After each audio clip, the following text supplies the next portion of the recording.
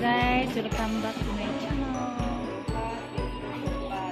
I'm sure ko sa inyo ngayon ay ah, tungkol po sa ano, yung assistance ng local, ah, local government of province of Bohol.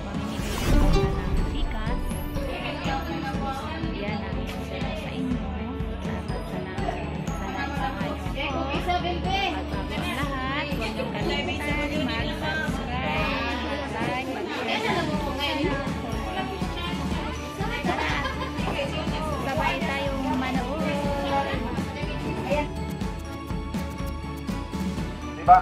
Okay sa may musita na to, magtapok-tapok ta, di ba mga barangay officials? Di ba? Kinsa may naghangyo na to, nga umahimo, ma manglimpyo ta sa tubaw biningon, di ba mga barangay officials, di ba? O di pa sabot, kada magustulo, mo man yung mga mahinungdan ng puta, aron mabatukan ang tumayo mo. Christmas, hindi magtapok-tapok, manglimpyo sa kaugalingon. Mao na, tungod kay ang atong mga barangay officials mo ay nagpasunod yun nato, ani, ang iluto nga mapasunod nato, ang ay laman nga tagaan doon nato sila insaktong recognition. So they deserve for recognition. Kung ang pinagi, bisag pinagi na lang sa pakpak, atong mapahalipayan ang atong mga barangay officials. So si pakpak, pagbalik nila. Ang iyon sa mo nako, of course, masipang pakpak na naningkamot po kayo, pagayo, ang atong batanon nga mayor, Mayor John John Suarez, masipang pakpak. At least nga nagtagpilit niyo makita ng dito. Nakikita mo ng nasdap pikas. Dari-dari sa ilan ako. O, di ba sa inyong nahinungan na na kita naman mo, naisulog ni Manong, o. Tambok-tambok na gamay, di ba? Kita naman niya, no? Tambok-tambok na sa gamay, di ba? Karon, gwapo na kayo, ni gamay, gwapo na kayo, parihan nami, Vice Governor Rene Relapagos.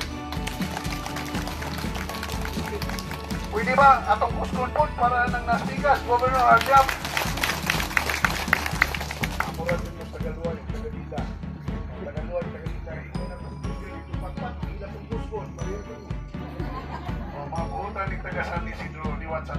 No? O, masipang pakpak na itong tanan.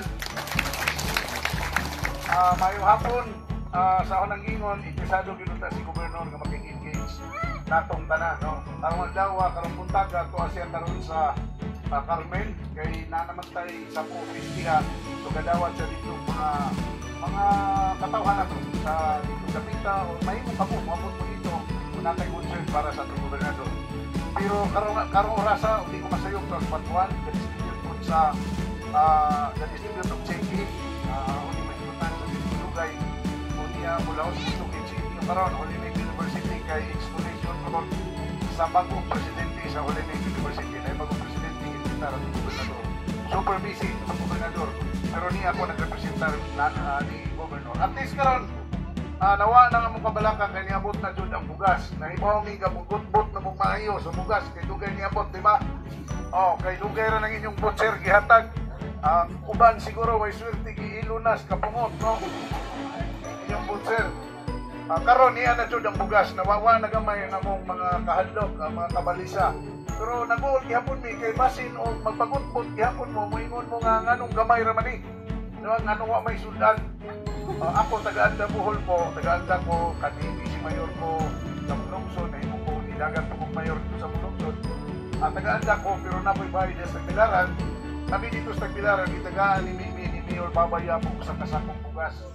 O saksak bugas ha, yata ni Mayor Babaya. Ito kapilan sa Mulongson na isugan. Uh, kanina to, ano, walo na kilo. Oh, pero ako paibaw, on premium rice. Premium rice, mahimo na ni Guay suwa-suwa. Iniguli ninyo, paglumag mo, way sudanay, kay kanang singana na mabusog na gyapon ta. Pero walo ka kilong bugas, na ibaw ba mo pila gigasto sa atong provincial government? 150 million pesos. Dili 15, dili 1.5 million. 150 million pesos, pero walo ra ka bugas inyong dawaton. Ngano man ni? Ang tungod kay, di laman sa Isidro, di laman sa bayan, kundili ang tanang pamilya sa tibok lalawigan Bulanon makadawat dili. Kumbaga, sa paghangop ninyo sa walong kakilong bugas, mura ra po inyong ihangop ang kahigayunan ng inyong igsoong pamilyang Bulanon, nga tuwas Inabanga, nga tuwas Buena Vista, nga tuwas Hitapi, makadawat sa parehang grasya na inyong gidawat karon. Walo ka kilong bugas, 150 million pesos ay ang tanang pamilyang bulanon mo'y makadawat pili. Pero ang mong pahibawon, nga dili ra bugas ang ihimo sa atong provincial government. Dili ra bugas ang ipanghatag ang ihimo agi o pagsiguro na we will be able to survive sa pandemic. Tanawa ra ko ng tarpilin ni Gob. Ang tarpilin na buhat ng pasultiyon. Kamu din, eh, karon pa mo makadungo ka ng buhat ng pasultiyon.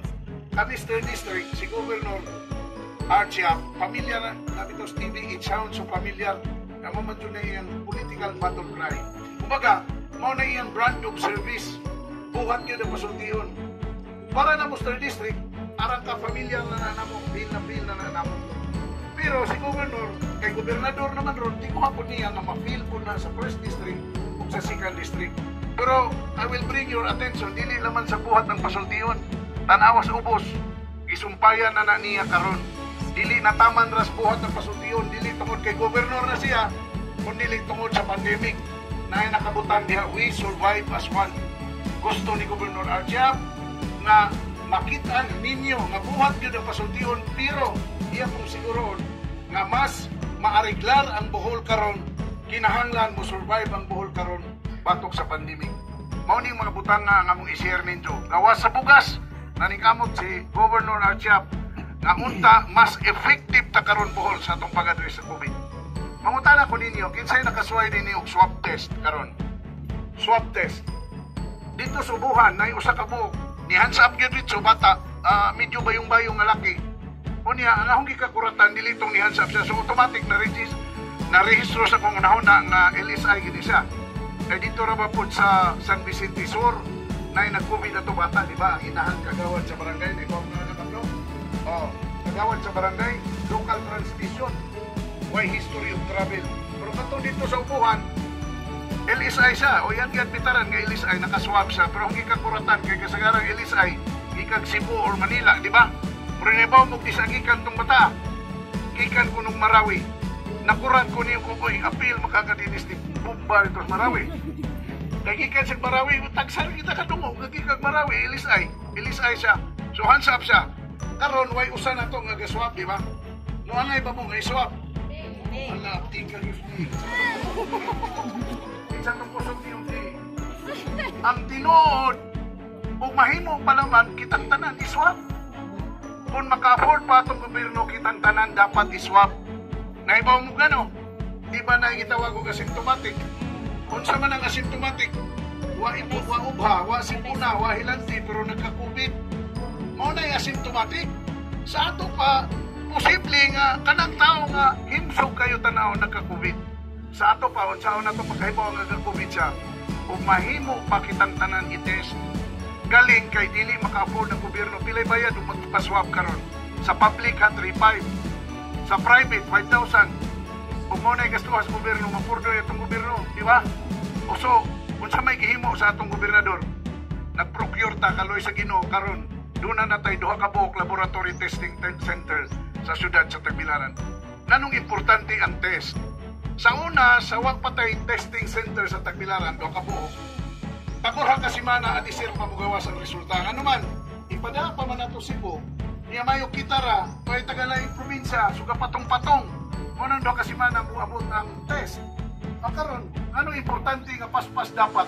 Example ha, ako giswab ko, Kunya do kasi mana pamugawas ang resulta kay iyato palagi sipo kay wa patas poll. Ang resulta maglakaw-lakaw pa ko. Kunya hindi gawa sa resulta in kaso gadud og positive ko di daghan akong gitakdan kay dugay man igawas ang resulta, dugay man ko quarantine di ba? So importante nga pas-pas gawas atong resulta. Mo na gihimo sa atong provincial governor, ni Governor Archiab, nalingkamot sa mayo nga makaprocure tag duha ka laboratory testing center aron pas-pas na punta makaproduce sa mga resulta nato na nakaroon sa Tagbilaran. Manay unang gihimo para pagsiguro nga mas effective ta karon sa atong pag-address sa COVID. Kinsay nakakantog Tagbilaran ikaduha, kinsay nakakantog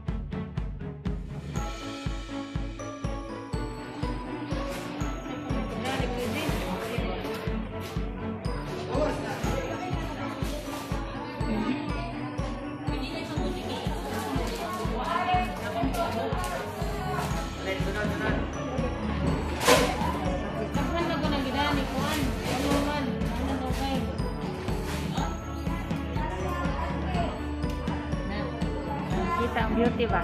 Yan sa ulan